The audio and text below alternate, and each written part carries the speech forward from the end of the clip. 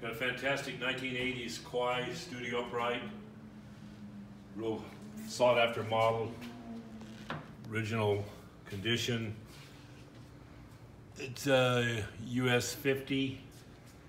Fantastic condition. Then we have a extraordinary rosewood case 1886 Steinway in mint condition. Museum quality condition, all marquetry inlay. Figures on the front. Came out of a real famous estate uh, in North Laguna.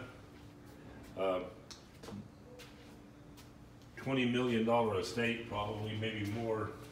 And uh,